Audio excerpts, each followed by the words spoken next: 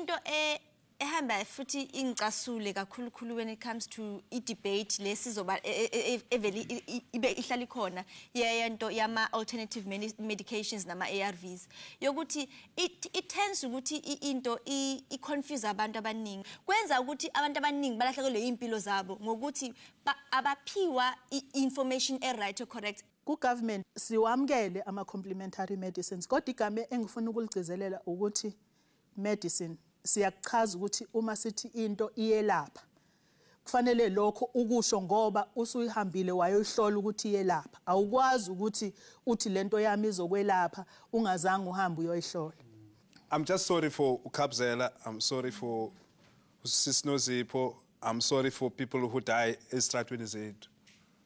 And the reason why I'm sorry is because ba- ba- babhubha in confusion of a quick fix. We all want to be an Africanist in, in thinking, in doing, because we want to have a, a rebirth of Africa.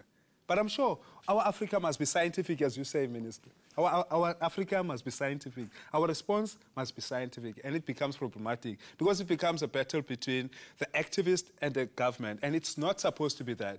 It's a battle between denialists, those who don't believe in HIV, and those who believe in it. imedia ibaluleke kakhulu eh, kwi-communication. Abantu bayayibuka i-tv kungakho nje le program ngenkathi ilonjwa ngajabula kakhulu ngoba isikhathi esiningi abantu abaningi uyedwa uphethwe yisifo esimphethe. Akazi ukuthi kufanele ashone ngakuphi i-communication kufanele ibe consistent. Kufanele thina sonke singabaholi ku-government. Ikakhulu kusukela phezulu kumongameli kwehle kuze ezansi sonke kufanele sikhulume into eyodwa. Khona abantu bezokwazi ukuthi kufanele benze njani. There is no quick fix.